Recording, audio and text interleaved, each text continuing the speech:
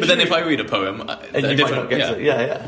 So we can have the same. No, no, a different poem I have a profound reaction to, but you hate it, or you just don't get it. Yeah, yeah, yeah. And that's the same with religion, right? Yeah, I think so. right? Different paths to the same essential reality. It's quite profound. Is this profound? Is this profound? Is this I don't know. We, if we analyze it, or we we are conscious of its profundity, then it becomes like Yeah, I think our listeners would have to tell us if this profound. Right? I think our listeners would have to make that judgment. Yeah. But wh- why why are we getting people to judge us, or or for what- us to judge ourselves, or us to judge other people? Why, Is don't this they a just judgment- listen, why don't they just listen to it and then ignore it and get on with their lives? No, I agree with that. That's what people should be expecting Yeah, from yeah, our I think podcast. that's better because we don't want them to take take our nonsense with them. We're only releasing it like on iTunes, so it stays in iTunes. Yeah, yeah. For after our death. Yeah, yeah. So that's an interesting concept, actually. So you know how we all, or you think all, uh, all- and I do agree with you that all religions sort of start from the same essence, and that all spiritual experiences are derived of that same essence. If you were to create a new religion, no, do you think there is a way of experiencing a different spiritual experience? one that hasn't had one that one that hasn't been experienced before. Yeah. Because a lot of spiritual experiences are receiving something from God, whereas we just we we touch on the subject of giving something to God, yeah. and that's not like you know burning incense or we're just talking throughout our daily lives we're feeding back to God. But is there a way to experience that? Because a lot of experience, like a lot of experiences through prayer and stuff, is God talking to you. So I think What about us talking to God? Well, no, a lot of prayer is us talking to God. I think I think Yeah, more, sorry, to be honest, more that Yeah, it's more that. Sorry, yeah, yeah, that's true.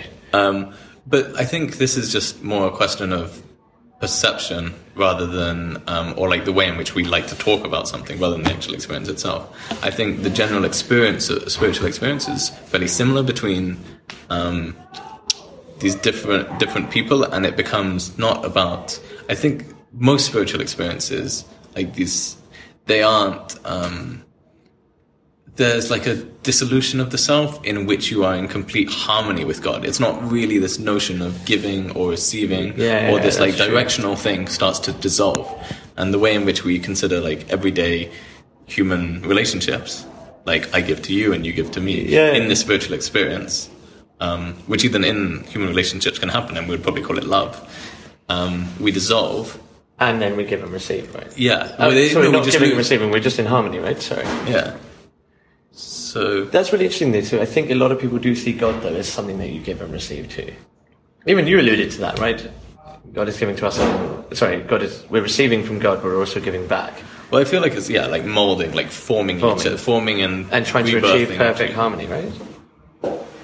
Yeah, but I think that when you have like these um, kind of like these experiences in which there's a dissolution of self and where you feel connected to God or whatever, this uh, intellectualization of what we're talking now about just like ceases to exist, and so everything that we um, are talking about now is like an academic retrospection of an experience, and it's not the true nature of the experience itself. It's just the way that we try to make sense of it. But then we can't recapture the experience because that experience has been warped by these academic discussions.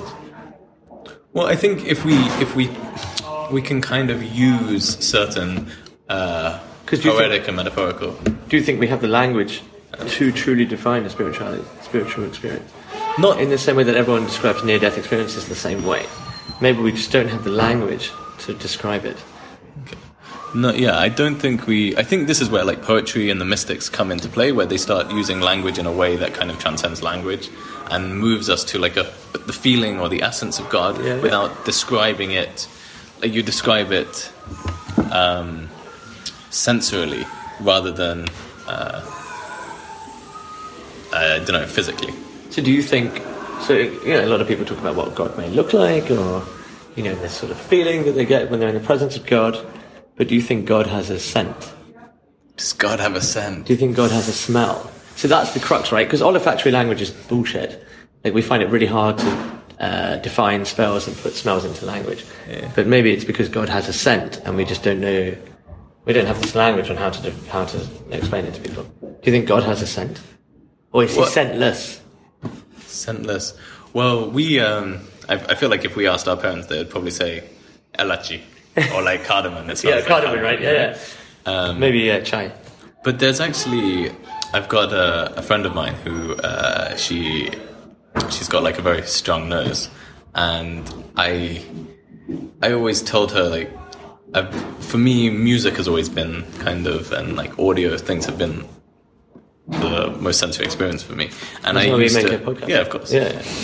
Um, so I used to like sometimes I hear the nothingness. I call it like the nothingness, but I can like perceive like the emptiness of all reality, in which like it feels very. sp- It's so intense. Um, and uh, she says I can smell the nothingness. I can smell like. I, I was asking her if she has this experience. She said it's not with sound or anything, but I She smell. smell nothingness. Yeah. Dude, is She that says, she says it smells a little bit like Paris. Like Paris all the time, or Paris in a certain year, or Paris a certain suburb? Actually, but that's irrelevant. So, do you think she's smelling God? The nothingness that she's smelling is that God? Yeah, she's also basically uh, the sort of um, reincarnation of Nietzsche. So, but she also says that nobody understands Nietzsche. So I don't know. Maybe God, God is dead is not. God is dead. Well, I like the idea that Nietzsche, no one understands Nietzsche, so someone had to be reincarnated as Nietzsche to help Yeah. explain his work. so maybe in the future, someone will be reincarnated as us to explain our podcast. To excellent. That would be good. Yeah. I don't, I don't know if she's doing. I'm just naming her this because. Well, I like the idea of smelling God. Yeah. But you know what? Also, like, really, what's what's str- what I struggle with is how come everything doesn't smell of bogies? I think there's probably a good point to stop. Uh, this is where this is where the conversation is going. We should probably stop here. We should probably stop here. That's nonsense. Ruining a person, perfectly good religious chat with bogies. Nonsense.